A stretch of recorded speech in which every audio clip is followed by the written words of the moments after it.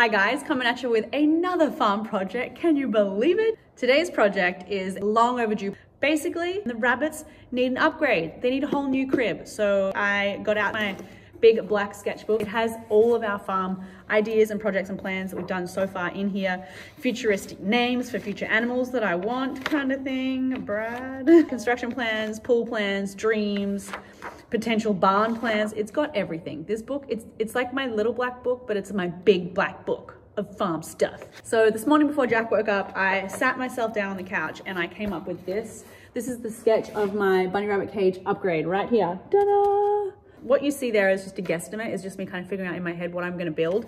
And then once I get into the woodwork, that's when I start figuring out actual measurements and how it's all going to come together. I'm about to take a look at my materials and decide on dimensions and then I'm going to start cutting wood. Jack is napping. He's already been down for an hour. I wasted the first hour. I didn't waste it. I needed it. I sat down and I scrolled through my phone and I drank a coffee.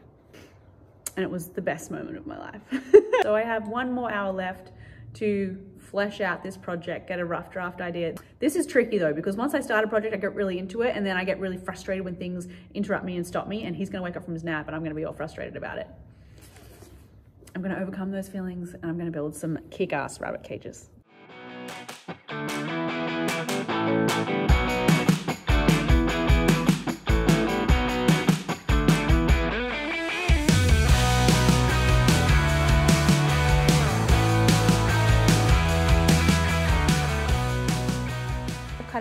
Frames now and I'm about to try and put this one together briefly before adding in the fencing. And then this one, if once I like that one, I'm gonna go ahead and do it in a different order, but um, it'll make sense in a few.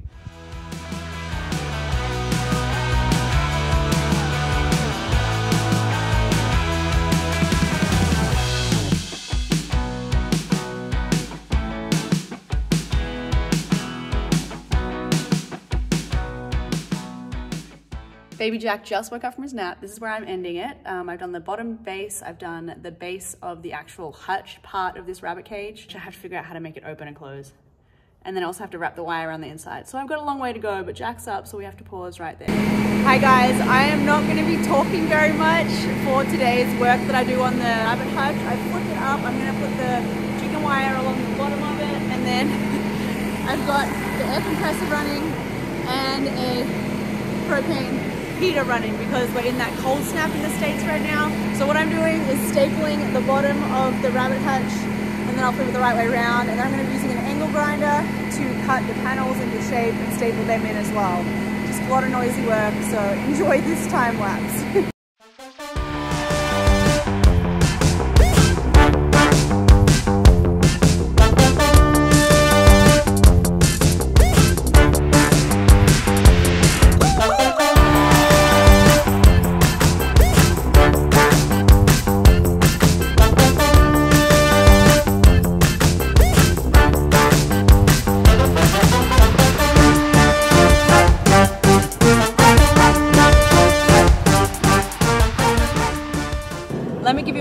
Of what I've got done so far today. Here she is. So the bottom level has now got all of its netting is on and stapled. Now all that's left is I have to build this roof part here is actually going to be hinging open and then also have to make the actual hutch part enclosure. You like what mommy did over there?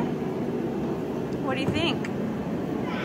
What I have realized at this stage of construction is that if I wanted to paint it white to match my other rabbit hutch, the only double decker one that currently exists on the farm, probably should have painted it before I put the wire on. So now Brad was like, why don't you stain it? It lasts longer than paint, it'll look great. Yes, it'll be different to the current rabbit hutch, but stain it to be this color, which is the color of our garage. look at you in there. You're stuck, can't get out.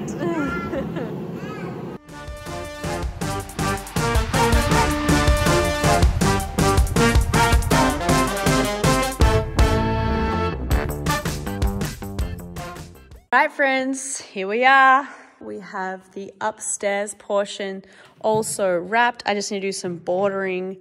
This is the entrance down to their ramp, which will then lead down into this run area. The lid for the run is there, waiting to have the mesh stapled on.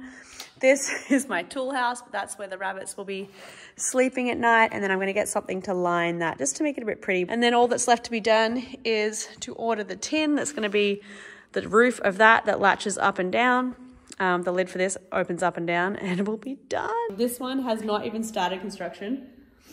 Not gonna lie, I'm a little bit apprehensive about it just because there's so much work that goes into these. I had no idea. My rabbit hutches are way harder than Cluckingham Palace and Cluckingham Palace is like seven times the size of these, but was way simpler because this one was just a whole lot of tomfoolery and me figuring it out. So thanks for hanging out, sticking with me. Thanks for being here, you guys. I'm off to see my hubby and my bubby, and I'll chat with you guys soon. Hey guys, it is day four of working on the rabbit hutch, and look, she looks so good. I made this, I'm very proud. Um, I cannot wait to put my bunnies in it. So today, all I have to do is frame the top so it's ready to put the lid on, order the tin, pick that up, put it on, frame the lid for the run part of the hutch, and we're finished.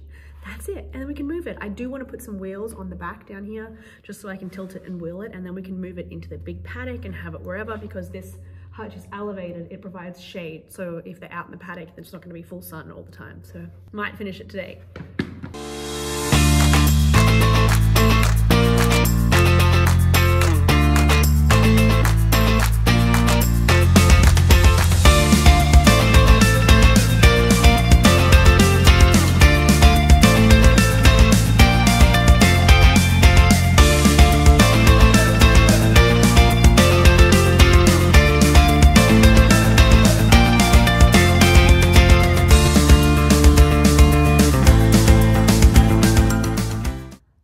As much as I possibly can on this rabbit hutch. I've run out of wire mesh and I'm waiting for my tin to arrive for the roof. It's basically complete. There's a few little finishing touches. I wanna wrap the entrance to the rabbit's little house with some kind of rubber or something just because it's exposed splintered wood right now. They don't care. It's more just for the aesthetic. I don't like seeing the splinters. Well, gee guys, I have to apologize. I got my mesh in, tin in, installed the roof and finished without filming it. I think I got excited to get it done and I forgot to hit record. But as you can see, there are now two hutches behind me. I built the other one in two days. For this first one, it's completely done.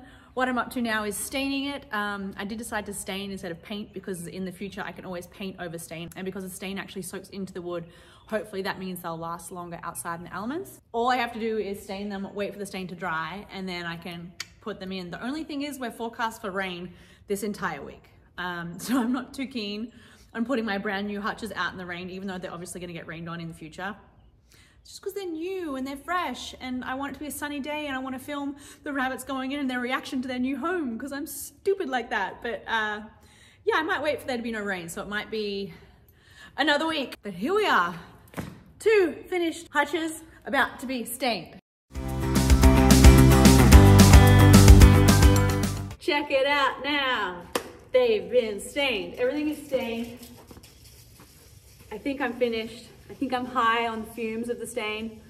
They look good, just waiting for them to dry. Then closing all the lids, attaching the hinges, and then we can put the bunny rabbits in. When can we put the rabbits in, Bob? We're gonna let them dry overnight, put the straw in, set them all up, move them into the paddock, and then put the bunny rabbits in tomorrow. That's the game plan. They're going in. Guys, here are the two rabbit hutches. I had Brad move them into the paddock for me. He's a very strong, handsome, wonderful husband. Over there. Um, but this is them, they're done. And we are about to transfer the bunny rabbits. Let me give you a tour of the finished product. Access is right here. And this is where they sleep. Entrance and exit that I have to line with some rubber. And then they hop down there onto this little ramp which takes them down into this run area. Oh, I'm so excited. It's such an upgrade. These are the current cages that I made quick smart because these two sisters at five months old when the hormones kicked in, they were no longer friends and they would fight each other. They were originally in Walter's cage together, but they had to be separated really quick. So I threw these cages together. They're obviously small, but the back end's on wheels. And so I just lift them up by these handles and I'm able to move them around and get them fresh grass every day. Okay, which one is she gonna go in? We're about to make the transfer. I can't wait. Oh my god. Okay. Sweetie, don't freak out. Oh my goodness. Jack, what are you doing? What do you think about that, Do you he's gonna use the ramp? We'll see. Enjoy! it's your turn. Welcome to your new crib. oh my. Oh, sweet. Let go. There you go. Let go. She's like, I'm freaked out.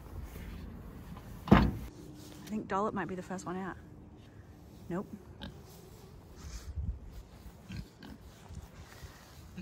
What are you doing in there? Oh, sweetie. What you got there, Jack? What's that? Oh, yeah?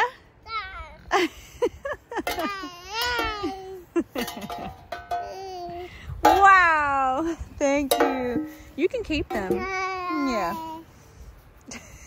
All right, this is a side-by-side -side size comparison. This is what they used to be in when they had their first litter of babies. This is the upgrade. So a slight difference. Trouble with this one was I don't have any way to open the wire run portion, so I'd have to reach my arm in and through. And if they hopped away from me, I could never catch them. So I'd have to tip them up on their end. But they worked really well. They were very serviceable, better than the housing that you see most rabbit breeders keeping their rabbits in. So, um, so this is like the rabbit Hilton. Rabbit Shangri-La. Nutsie has made it out. She's sniffing around.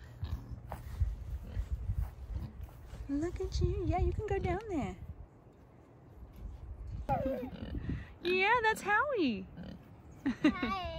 Bought this um, rubber where you peel off these red stripes and it's sticky on the inside and it's to line my rabbit doors, which looks so much better than the open splinters, but man, it was hard to wrap and I don't know how long it's gonna last.